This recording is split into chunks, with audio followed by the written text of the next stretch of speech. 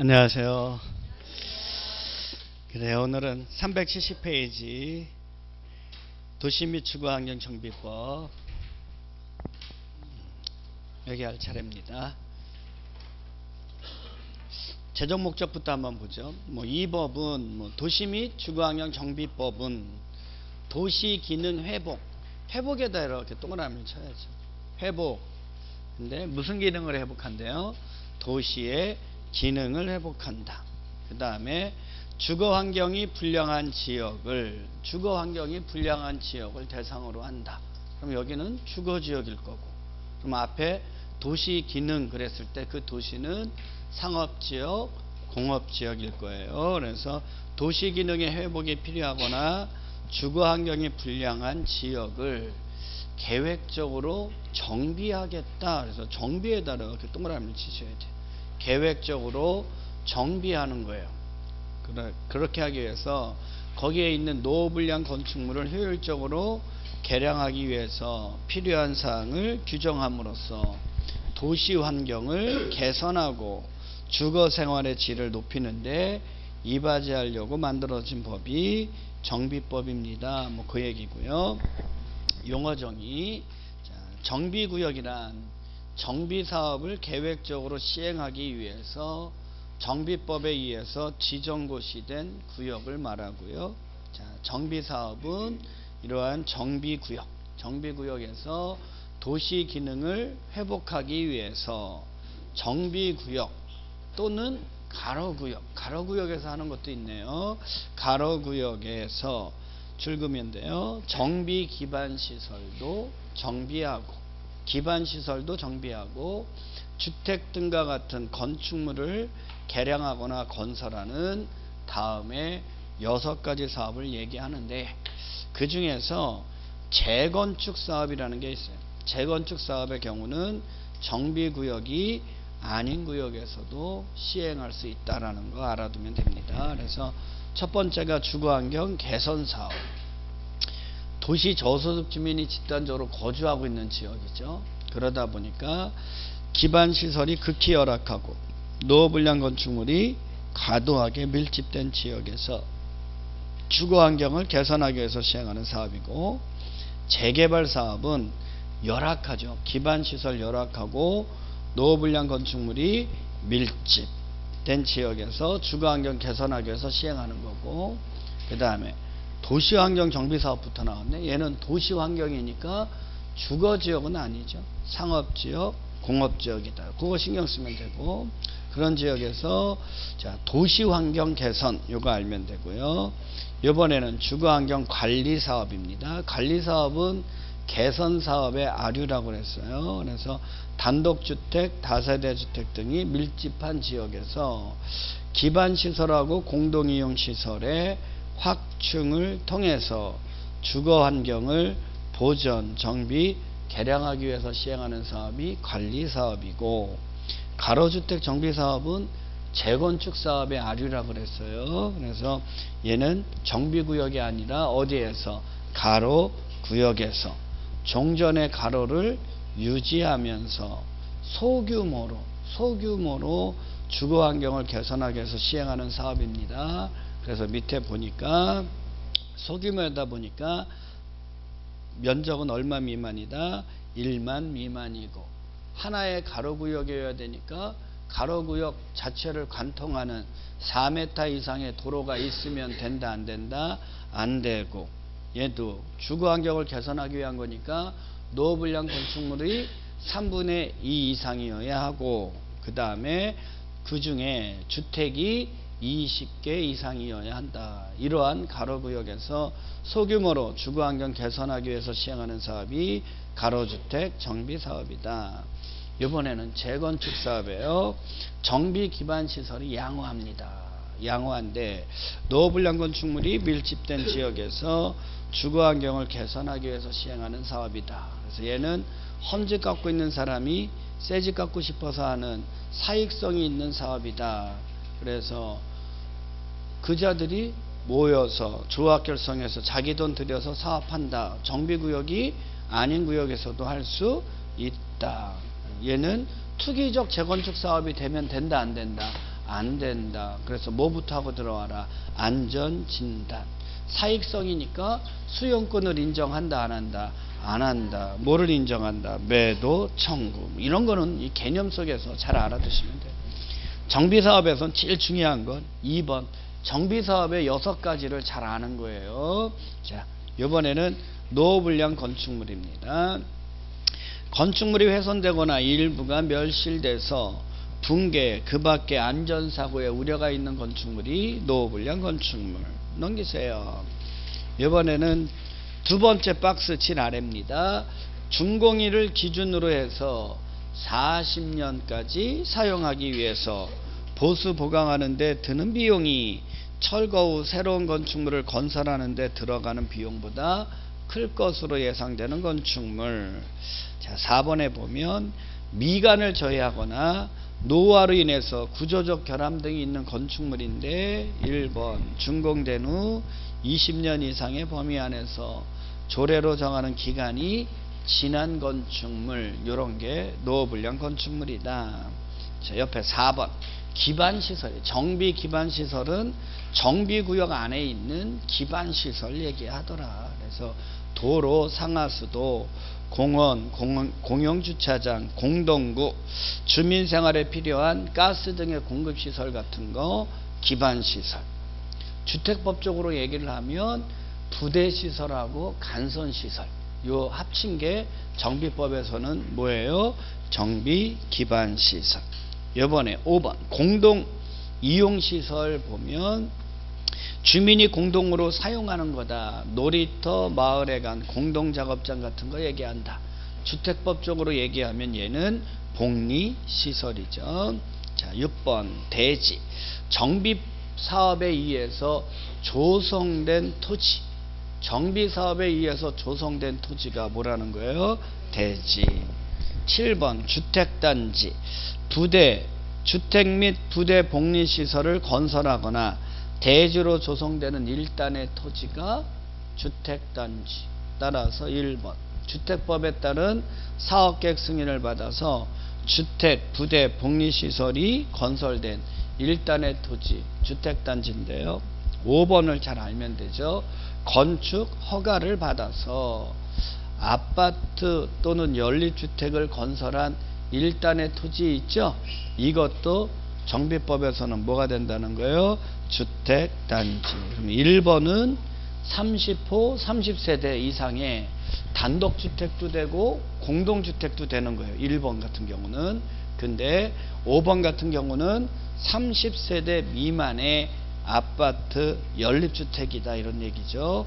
이것도 다 정비법에서는 뭐가 된다는 거예요? 주택단지. 넘기세요. 토지 등 소유자 제일 중요합니다. 자, 정비법에서 일반적인 토지 등 소유자면 토지 소유자 또는 건축물 소유자 또는 지상권자까지 토지 등 소유자라고 하는데 재건축 사업은 주택이 있어야 된다 이거죠. 그래서 재건축 사업만큼은 누구만 토지 등 소유자가 될 수 있다. 건축물 및 부속 토지 소유자 이자들이 토지 등 소유자가 된다는 거 잘 알아두시면 되겠어요. 자, 주택공사 등 그러면 한국토지주택공사하고 지방공사를 이야기하고 정관 등 그러면 정관은 회칙이죠. 조합의 회칙은 정관. 토지 등 소유자, 사인 간의 회칙은 규약. 그 다음에 시장군수 구청장 주택공사 등 공적인 자들의 회칙은 시행 규정 이렇게 표현한다 이런 얘기고요. 여기까지 용어 정의고 자 갑니다. 페이지 378 정비사업의 시행이에요. 첫 번째 2번 기본계획 수립 잘 알아두시면 돼요. 얘만 잘 알아두면 끝나지 뭐. 자 특별시장, 광역시장, 자치시장, 자치도지사, 시장, 시장에다 동그라미 치십시오. 다음의 사항이 포함된 기본 계획을 10년 단위로 수립해서 5년마다 타당성 여부를 검토해서 결과를 기본 계획에 반영해야 합니다. 다만 대도시가 아닌 일반 시라면 도지사가 기본 계획 수립이 필요하다고 인정하는 시를 제외하고는 기본 계획을 수립하지 아니할 수가 있어요. 기본 계획의 내용은 1번 기본 방향 정해주는 거고요. 그 다음에 뭐 계획 기간 뭐 이런 거 정해줍니다. 자, 9번이 알아두시라고 그랬지. 정비 예정 구역의 계략적 범위. 10번 단계별 정비 사업 추진 계획. 근데 요 단계별 정비 사업 추진 계획에는 정비 예정 구역별 정비 계획의 수립 시기가 포함되어야 한다는 거 알아두시고 그 다음에 건폐율, 용적률 등에 관한 건축물의 밀도 계획 아마 밀도에다 이렇게 동그라미 쳐놨을 거예요. 수립 절차 갑니다. 시장이 기본 계획을 수립하려면 14일 이상 주민에게 공람하고 지방의회 의견 들어야 되는데 지방의회는 60일 안에 의견을 제시해 줘야죠. 60일이 지나서 의견 지나도록 의견 제시가 없으면 이의가 없는 것으로 보겠다. 그래서 주민의 의견 듣고 지방의 의견 들어서 시장이 수립합니다. 그러면 시장은 확정해야 되겠죠. 네, 넘기시면 협의 거치고 뭘 거쳐서 심의 거쳐서 확정하고 확정했다면 지자체 공보에 뭐 하라는 거예요? 고시해라. 그리고 시장은 이를 장관에게 뭐 해주면 돼요? 보고해주면 됩니다. 기본 계획의 작성 기준, 행정 계획의 작성 기준은 누가 정해준다고요? 국장이 정해줍니다. 정비 계획의 수립 갑니다. 시장 군수 구청장은 뭐 줄거놨을 거고, 기본 계획에 적합한 범위 안에서 줄거놨을 거고, 자, 밑에 줄 끝에 다음의 사항이 포함된 정비 계획을 수립 출근했을 거예요. 정비 계획을 수립해라. 그래서 시장군수구청장은 기본 계획에 적합한 범위 안에서 정비 계획을 수립한다. 그리고 주민에게 서면으로 통보하고 주민 설명회도 하고 30일 이상 주민에게 뭐하고 공람하고 지방의회 의견 들은 후 이를 첨부해서 시도지사에게 특별시장, 광역시장, 도지사에게 정비구역의 지정을 신청해라 이런 얘기고요. 자 밑에서 두 번째 줄 중간 대도시 시장이라면 도지사에게 정비구역의 지정을 신청하지 않고 자기가 직접 정비구역을 뭐 한다고요? 지정한다. 넘기세요. 1번 정비사업의 명칭입니다. 두 번째는 정비구역의 면적 그 다음에 5번 건축물의 주용도 건폐율 용적률 높이에 관한 계획 그래서 어느 정비사업을 어떤 규모로 그 다음에 8 9번에 보면 예정 시기 언제 할 것인가 정해주는 계획이 정비 계획이에요. 자, 10번에 보면 지구 단위 계획에 관련된 것도 필요하다면 정비 계획에 포함시킬 수 있다. 그 정도 알면 되겠네요. 자, 이번에는 정비 계획의 제한 사유입니다. 토지 등 소유자는 다음 어느 하나에 해당하면 시장 군수에게 정비 계획의 위반을 제한할 수가 있어요. 1번 단계별 정비 계획, 정비 사업 추진 계획상 정비 계획의 수립 시기가 1년 이상 지났음에도 불구하고 정비 계획이 수립되지 않으면 위반을 제한할 수 있고요. 토지 등 소유자가 주택공사 등을 사업 시행자로 요청했다면 정비 계획의 위반을 제한할 수 있어요. 제안서에는 정비계획 도서와 계획설명서를 첨부해야 되고요. 반영 여부는 60일 안에 알려줘야 되는데 부득이하다면 30일 연장할 수 있다는 것도 알아두시면 됩니다. 어쨌든 이렇게 정비계획 수립해서 정비구역의 지정을 신청하면 시도지사 대도시장이 정비구역 지정해야죠. 지정할 때는 지방도시계획위원회 뭘 거쳐라? 심의 거쳐서 지정하고 지정했다면 이를 공보에 고시해야 되겠죠. 그리고 고시 내용을 장관에게 뭐 해주면 돼요? 보고하고 일반에게 열람해 주면 되더라. 자, 이렇게 정비구역이 지정이 되면 지구 단위 계획 아까 필요하다면 포함시킬 수 있다 그랬죠?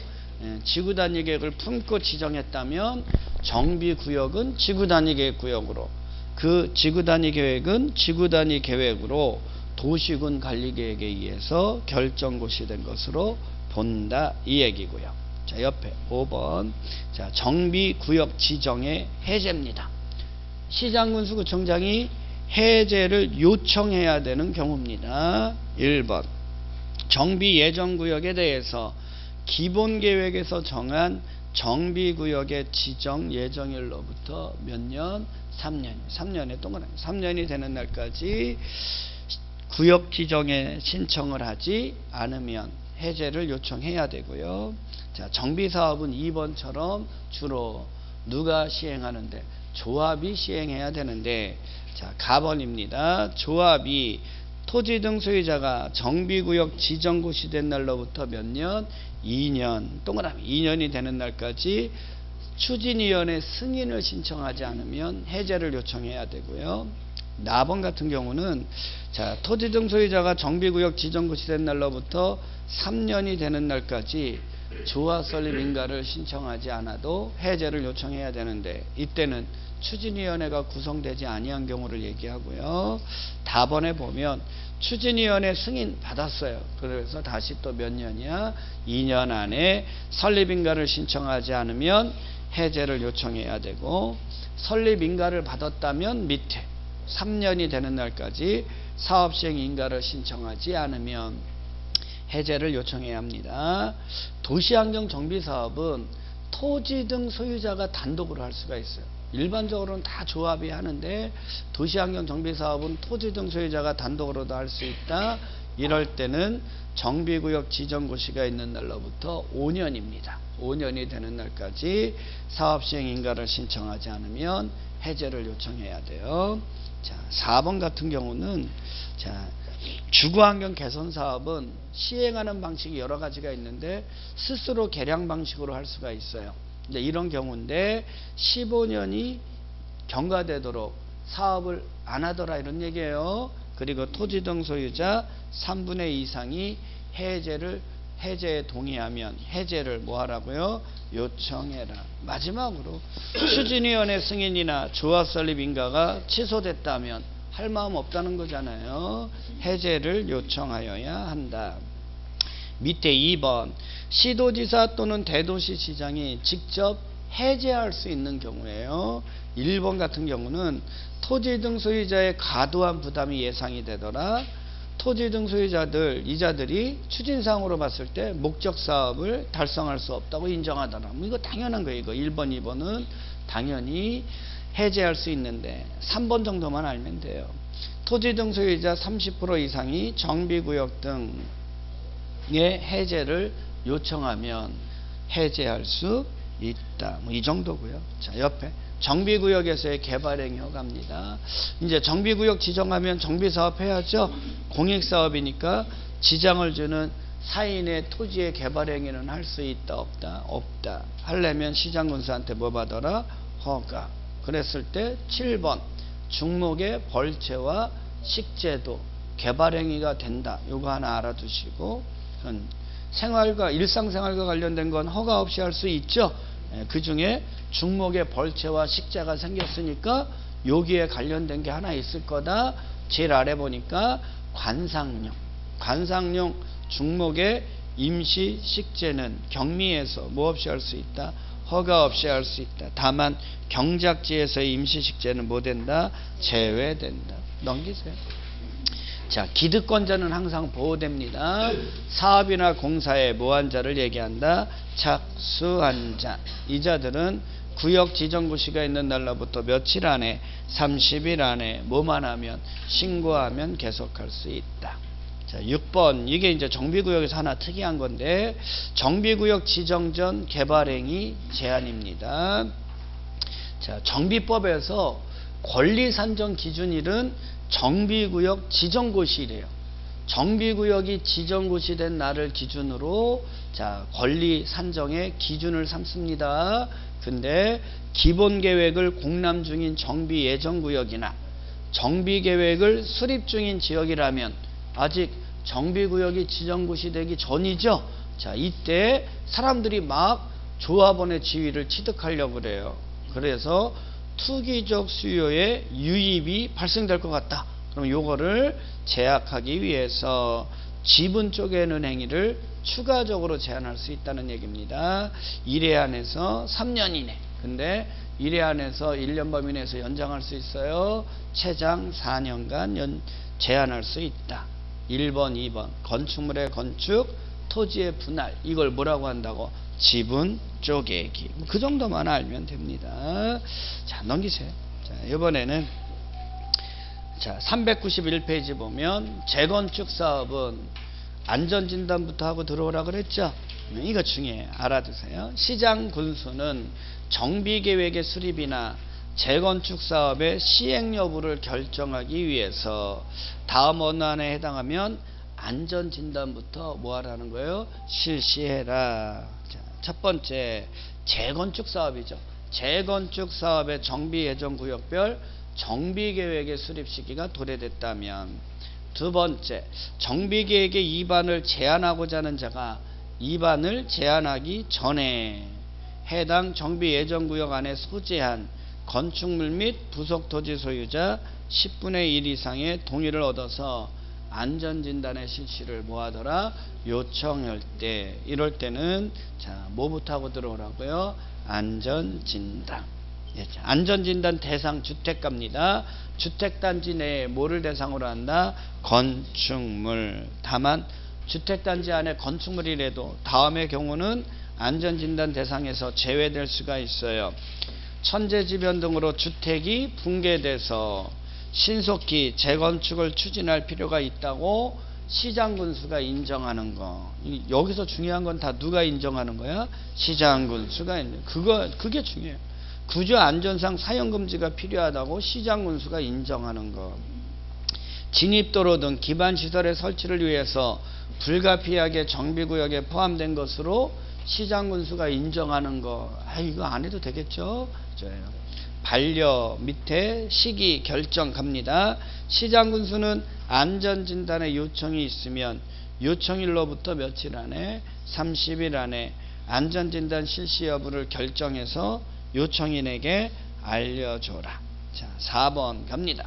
시장 군수는 현지 조사 등을 통해서 아랫줄 중간 안전 진단 실시 여부를 결정합니다. 이게 뭐 제일 먼저 해야 되는 거 안전진단 실시 여부를 결정하고 만약에 여기에서 안전진단 실시가 필요하다고 결정했다면 안전진단 기간에 안전진단을 뭐 하라는 거예요? 의뢰해라. 그 안전진단 기간이 1, 2, 3번입니다.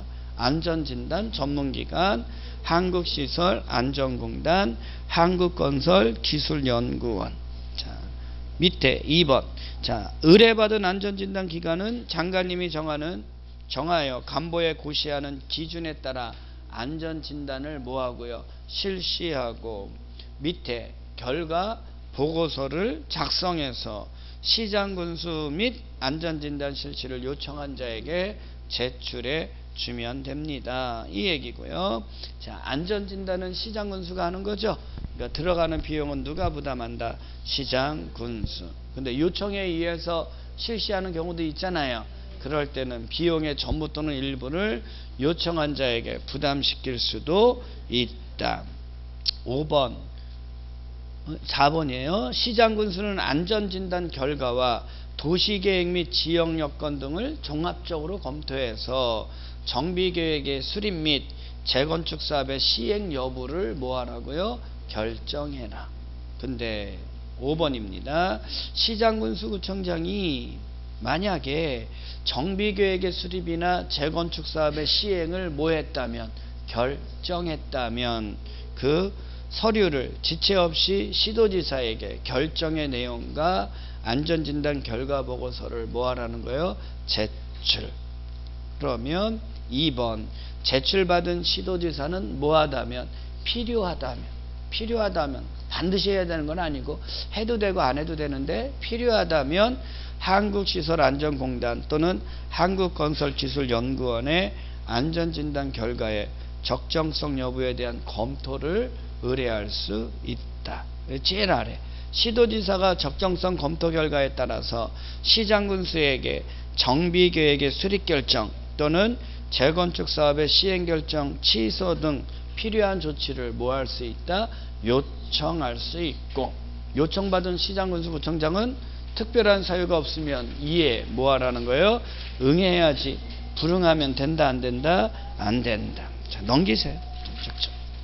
자 이번에는 정비사업의 시행이에요. 시행 방법 보시면 주거환경 개선 사업은 다음에 해당하는 방법 또는 이를 혼용하는 방법에 의한다 이렇게 되어 있죠. 첫 번째가 스스로 주택을 개량하는 방법, 스스로 방법이라고 얘기하고요. 두 번째가 수용 방법이라고 얘기하고, 세 번째가 환지 방법도 할수 있고요.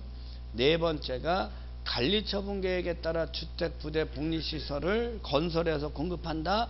관리 처분 방식, 다른 얘기로 하면 환권 방식. 그러니까 주거 환경 개선 사업은 어느 방식이든 다 할 수 있어요. 그리고 이거를 섞어서 하는 무슨 방식도 할 수 있다고 혼용 방식.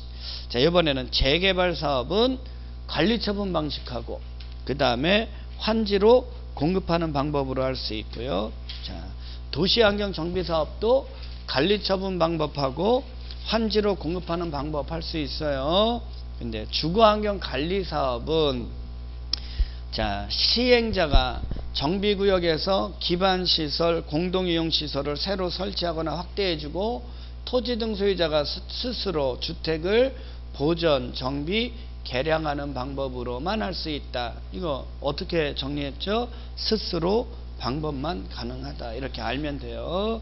자, 가로주택 정비 사업은 관리 처분 방식으로만 할 수 있고, 그 다음에 재건축 사업도 관리 처분 방식으로만 할 수 있다. 자, 이번에는 시행자입니다. 주거환경 개선 사업은 자, 정비구역 지정을 위한 공란공고일 현재 해당 정비 예정 구역 안에 있는 토지 소유자 또는 건축물 소유자 또는 지상권자 이자들이 누구예요? 토지 등 소유자 3분의 2 이상의 동의와 세입자 세대수 가반수의 동의를 얻어서 누가 한다고요? 시장, 군수가 직접 하거나 주택공사 등을 시행자로 지정해서 시행하게 할 수 있다.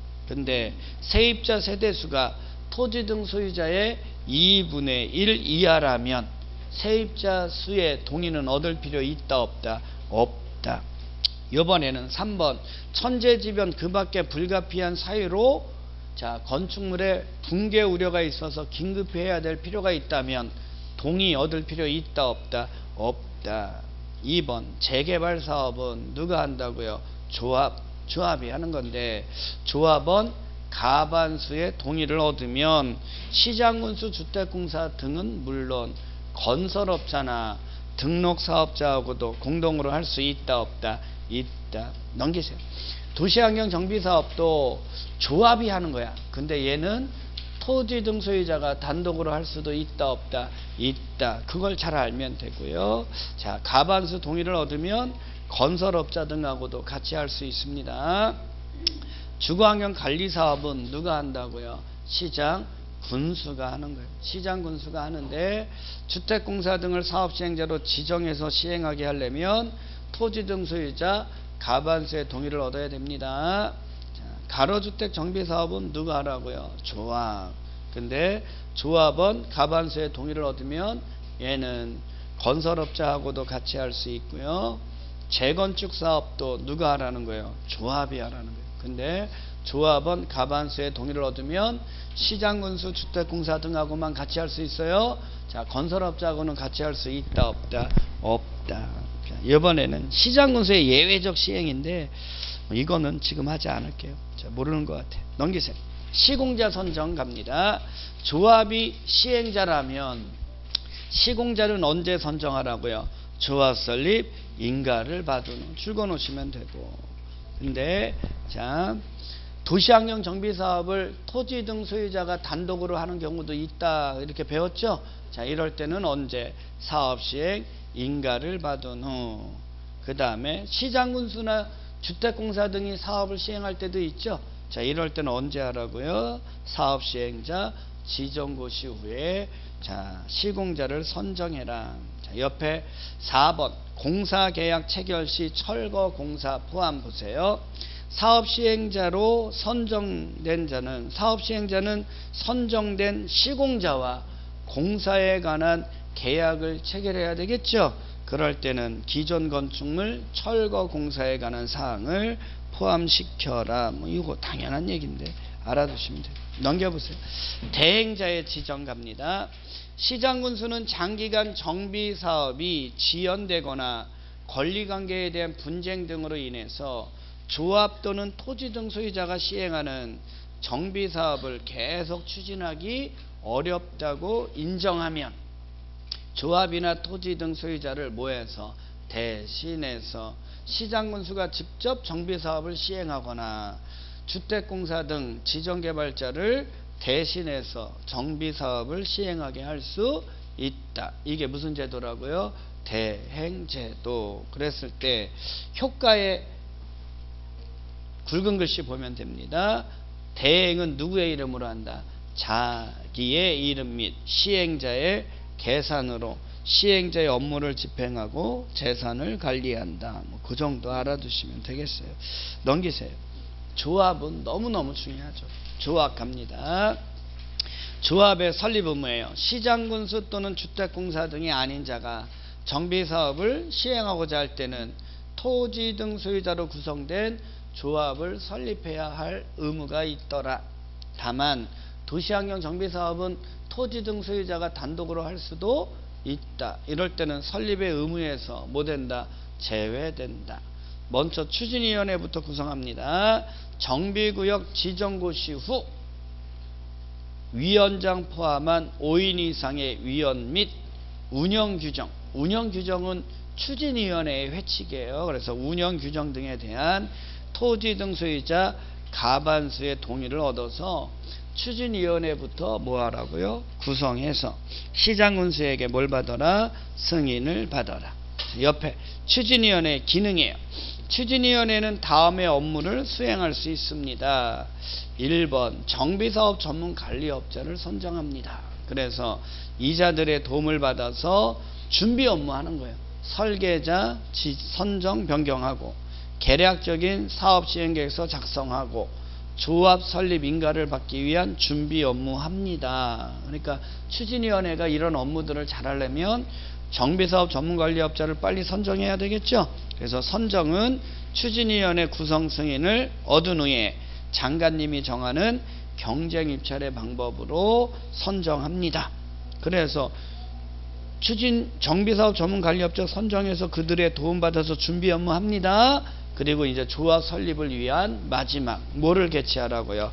창립 총회를 개최합니다. 그래서 조합 설립 인가를 신청하기 전에 조합 설립을 위한 창립 총회를 뭐 하라는 거예요? 개최. 그럼 추진위원회가 창립 총회 개최했다. 그러면 모든 준비 업무 끝났다는 얘기죠? 좋아요. 넘기세요. 그러면 413 조합을 설립합니다. 재개발 도시환경 정비 사업 조합을 설립하려면 정관에 대해서 동의 얻어야죠. 어떻게 얻으라고? 4분의 3, 2분의 1. 환권 방식이니까 권리자의 비율이 높다라는 거예요. 4분의 3. 그러면 토지 등 소유자고 그 다음에 2분의 1 그러면 면적을 얘기합니다. 근데 가로주택 정비 사업이라면 자, 다 동의하는 사람이라 그랬죠. 얼마? 10분의 8, 3분의 2 이렇게 동의 얻어서 시장 군수에 뭘 받으라고요? 인가. 요 이번에는 재건축 사업입니다. 재건축은 주택단지 안에서 하면 동별 전체 이렇게 받아야죠. 동별 3분의 2, 2분의 1, 전체 4분의 3, 4분의 3 이렇게 동의 얻어서 시장 군수에 뭘 받으라고요? 인가. 근데 주택단지가 아니라면 4분의 3, 3분의 2 이렇게 동의 얻어야 됩니다. 자, 넘기세요. 자, 이번에는 등기 가보죠. 415페이지 지랄에 조합은 무엇으로 해야 된다? 법인 따라서 인가받았다고 성립되는 것은 아니다. 30일 안에 주단, 주된 사무소 소재지에 뭐 해야지?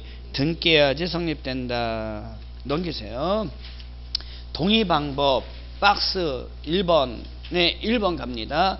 한 필지의 토지 또는 하나의 건축물이 수인의 공유에 속해도 수인을 대표하는 한 사람만 토지 등 소유자.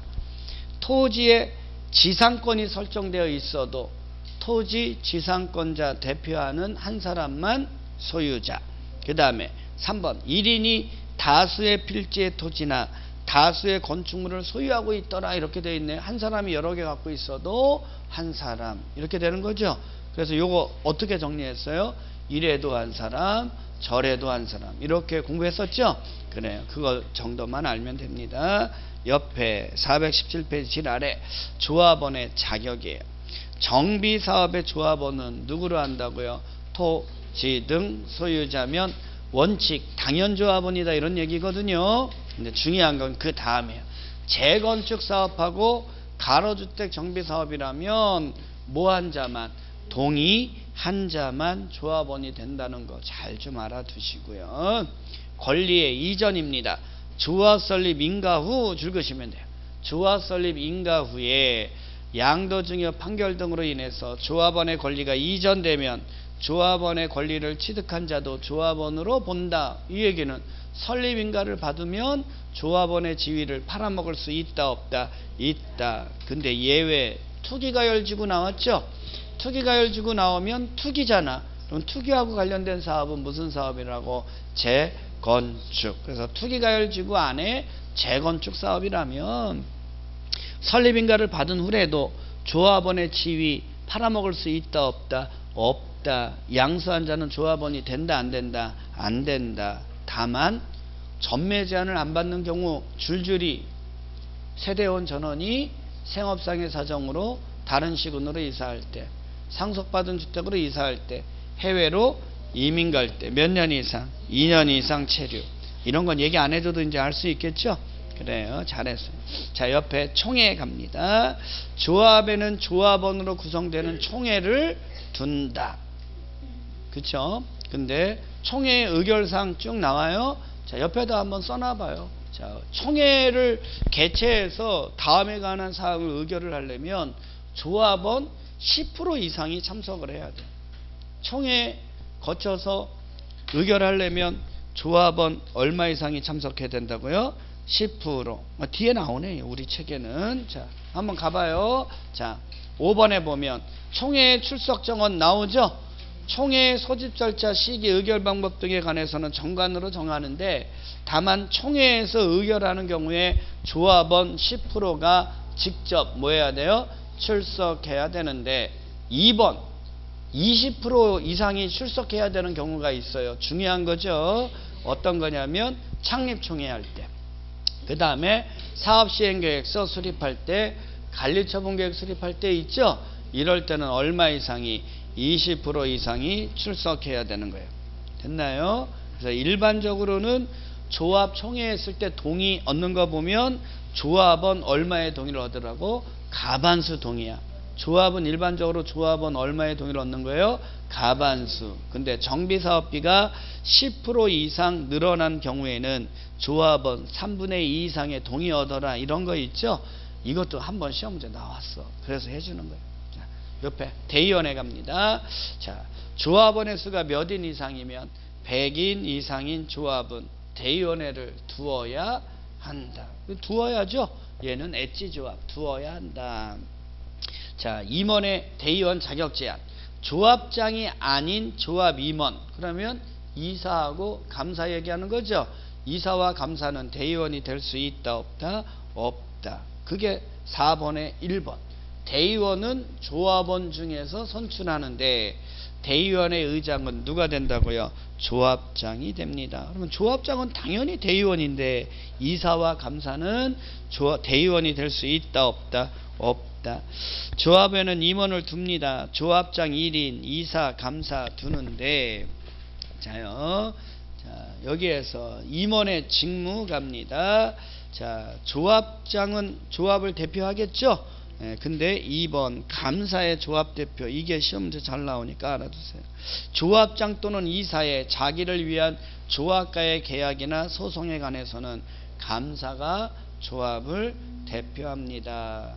겸임 할 수 있다 없다 없다. 아, 당연하잖아요. 자, 결격 사유 또라이 복권되지 아니한 자 두부 먹고 2년 지나지 아니한 자 두부 먹고 있는 중. 여기까지는 똑같아요. 5번만 알면 되지.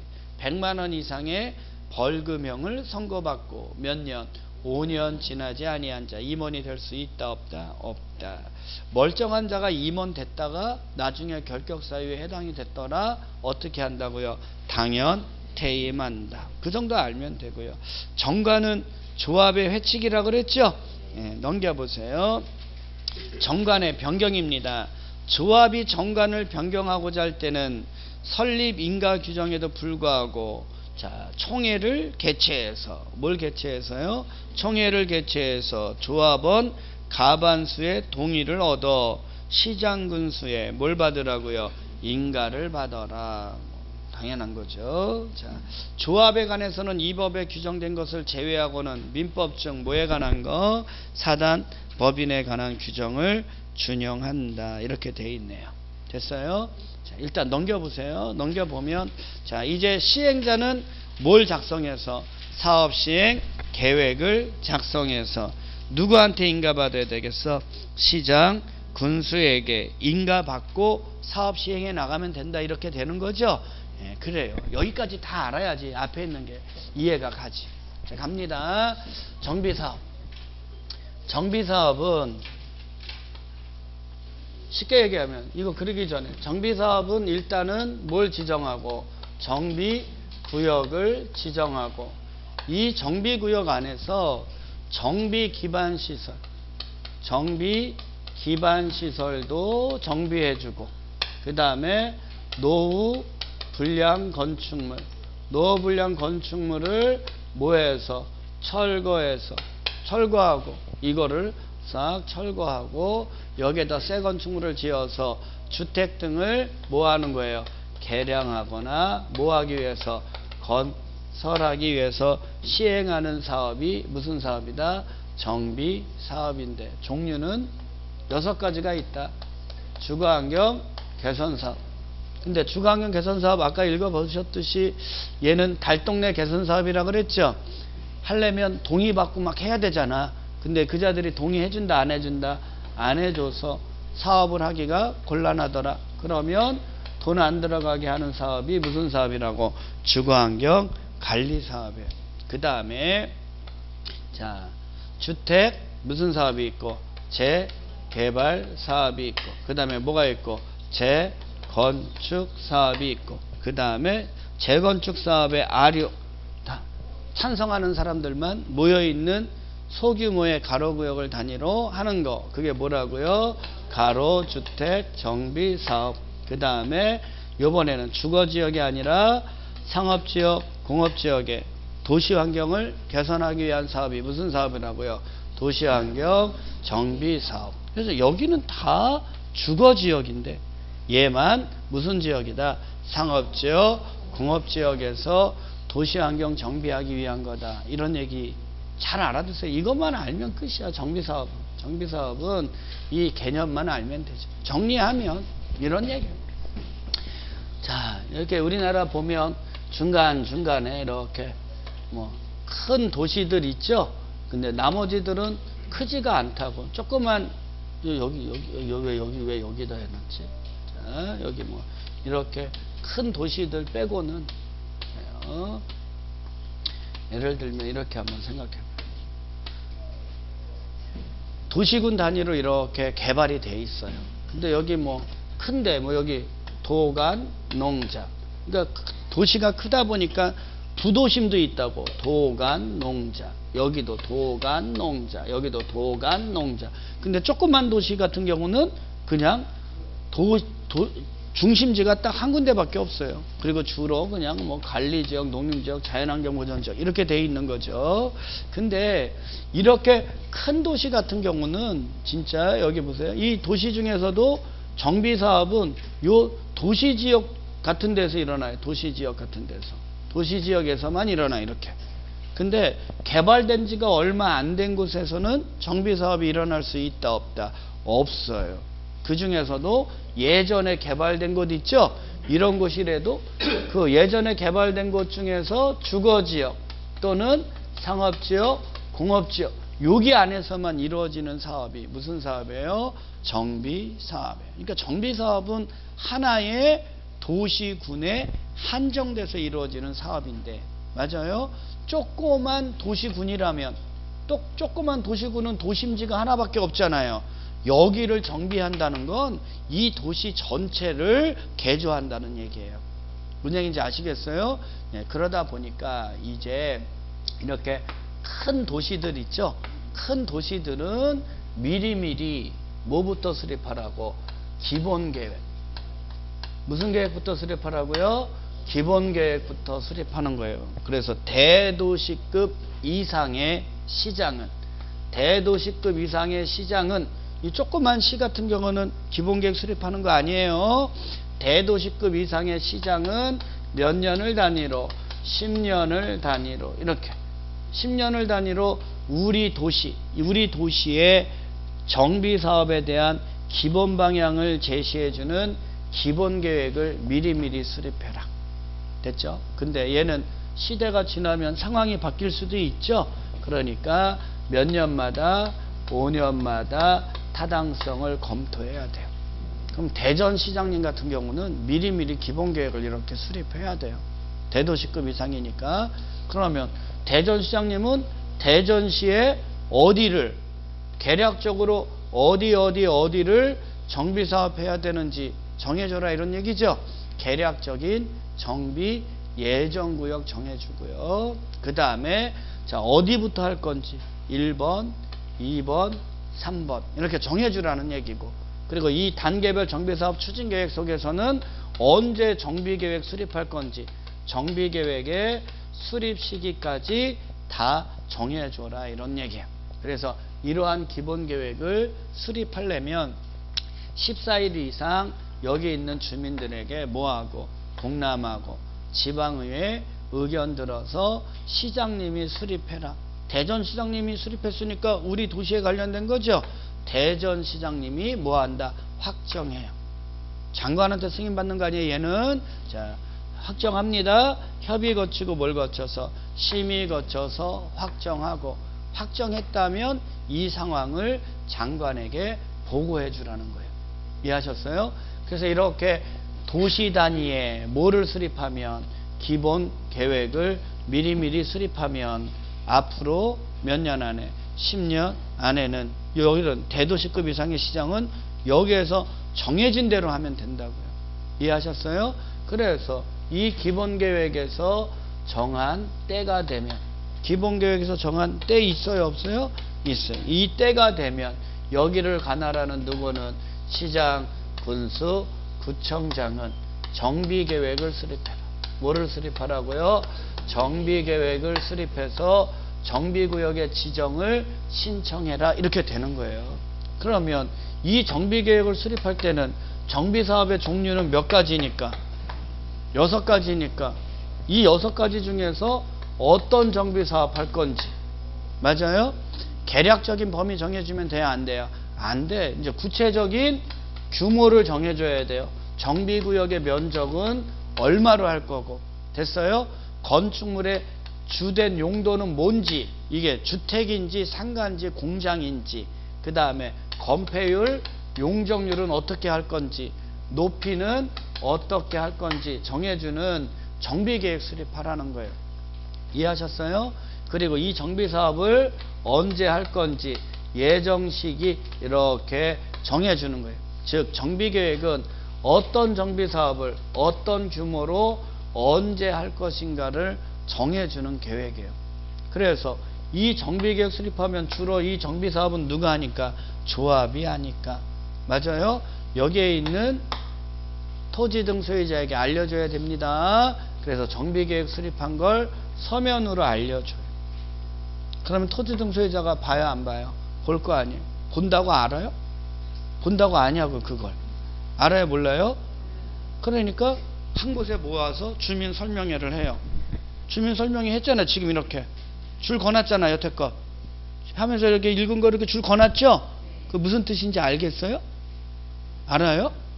음, 되게 똑똑하네. 주민 설명회 이렇게 해요. 해줘. 예, 여러분 거기 중요하니까 거기 줄 그세요. 이거 당연한 겁니다. 당연히 이렇게 합니다. 어, 나는 무슨 뜻인지 하나도 모르겠는데 뭐 이러잖아요. 그러니까 주민 설명회를 해줘도 모를 사람은 모른다고. 맞아요? 그러면 충분히 알 수 있도록 공부할 수 있는 시간을 주는 거예요. 30일 이상 공람합니다. 충분히 보고 공부하라고요. 됐어요? 그리고 나서 지방의회 의견 들어서 이를 첨부해서 누구에게 시 도지사에게 정비구역 지정을 신청해요. 다만 대도시 시장은 자기가 직접 정비구역 뭐 한다고요? 지정한다 이런 얘기예요. 이해하셨어요? 좋아요. 근데 이렇게 지정을 하려면 관계 지방도시계획위원회 뭘 거쳐서 심의 거쳐서 지정하고 지정했다면 이를 뭐 하라고요? 고시를 해줘라. 그리고 나서 장관님에게 보고하고 시도지사 대도시장이 일반에게 열람해주면 되는 거죠. 그러면 이제 여기에서 정해진 대로 여기에서 정해진 대로 이렇게 사업 시행하면 된다 이거예요. 이렇게 정해진 대로. 근데 여기에 일반 사인들이 있어요 없어요? 이제 사인들은 정비사업이라는 공익사업에 지장을 주는 토지개발행위 할 수 있다 없다 없다 여기에 중목의 벌채와 식재가 들어간다 근데 일상생활을 위한 건 뭐 없이 할 수 있다 허가 없이 할 수 있다 관상용 중목의 임시식재는 경미하다 맞아요 다만 경작지에서 임시식재는 포함 제외 아 이거 맨날 배우는 거 아닙니까 이거 그렇죠 이렇게 쉬운 게 어디 있어 근데 잘 모른다니까 이거를 알으셔야 돼. 자, 됐어요? 자, 이렇게 하면 사업 시행하는 거예요. 여기에서 여기에서 정해졌어. 이 사업이 무슨 사업이라면 주거환경 개선 사업. 이 사업이 재개발 사업이라면 이 사업이 재건축 사업이라면 저기서 정한 사업이 도시환경 정비 사업이라면 은행인지 아시겠어요? 다만 가로주택 정비 사업은 정비구역에서 한다 안 한다? 안 한다. 안 해요. 얘는 가로구역에서 하는 거 아니에요. 가로구역에서 소규모로 하는 거죠. 그래서 이 가로구역은 면적이 얼마 미만? 만 미만. 맞아요? 하나의 가로구역이어야 돼요. 얘가 4m 이상의 도로로 두 개 이상의 가로구역으로 나뉘면 된다 안 된다? 그 여기에 노후불량 건축물 있어야 돼 없어야 돼? 얼마? 3분의 2 이상의 노후불량 건축물이어야 되고 맞아요? 그 중에서 주거환경 개선하기 위한 거니까 노후불량 건축물 중에 주택이 20호, 20세대 이상 있어야 된다는 거예요. 이해하셨냐고? 잘했어요. 잘한 거예요. 근데 재건축 사업은 정비 기반 시설은 뭐하다고? 양호. 양호한데 노후불량 건축물만 밀집된 지역이죠. 그러니까 얘네들은 흔집 갖고 있는 사람이 새집 갖고 싶어서 하는 공익성, 사익성, 사익성.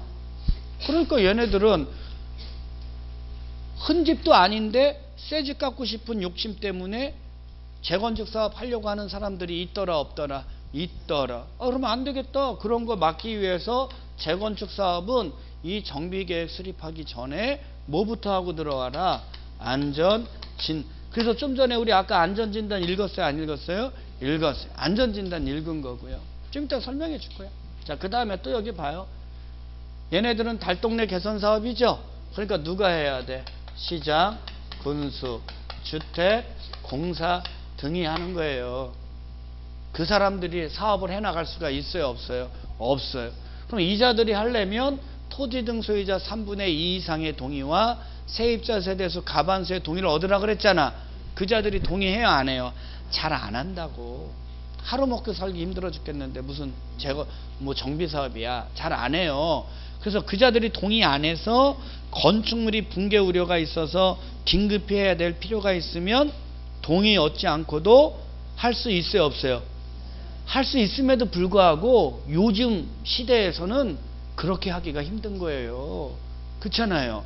예전에 박정희 대통령 시절에는 아유 사업해야 되는데 아, 우리 하면 안 됩니다. 우리 먹고 살기 힘들어요. 하지 마세요. 그러면요 강제로 철거하고 강제로 이주시켰어요. 그래도 찍소리 못했어. 근데 요즘은 그랬다가는 큰일 나. 그래 안 그래요? 그러니까 위험 부담이 있어요 없어요? 있어. 그렇게 할 수 있는데 거의 그렇게 안 해요. 요즘은 뭐 인권이니 뭐니 해갖고 얘기인지 아시겠어요? 그런데 사업을 안 하고 가만히 놔두면 너무 힘들잖아요. 거기 낙후돼서 위험할 수도 있죠. 이자들이 돈 많이 돈이 없어서 못 한다고 그러니까 어 그래? 그러면 니네들 돈 안 들어가게 해줄게. 누가 시장 군수가 시장 군수가 기반 시설 공동 이용 시설 설치해주고 낡은 집들 스스로 개량하세요. 이 방법으로 하는 사업이 무슨 사업이라고요? 주거환경 관리 사업이. 그래서 얘네들은 스스로 개량 방법으로만 하는 거예요. 이자가 기반 시설 설치해주고 스스로 개량해 주세요. 맞아요? 예, 그래요. 그리고 이 두 가지 사업을 제외한 나머지 사업은 누가 하는 게 원칙이다. 조합이 하는 게 조합이. 근데 도시환경 정비 사업은 공장, 공장, 공업 지역에서도 정비하잖아요. 근데 공장에는 사장님이 한 분밖에 없잖아. 여러 명이 있을 수가 없죠. 그러니까 한 명 갖고서 조합 결성하세요. 된다고 안 된다고. 에이, 그래. 그러니까 자 그럴 때는 토지 등 소유자로 단독으로 시행할 수도 있다 없다 있다 이런 얘기예요. 그래서 나머지 사업들은 누가 해야 되는데 조합이 해야 되는데 도시환경 정비 사업은 상가 같은 경우는 조합을 결성해서 하고 공장 같은 경우는 토지 등 소유자가 단독으로 할 수도 있다 없다 있다 이거 알아두는 게 제일 중요해요. 됐어요?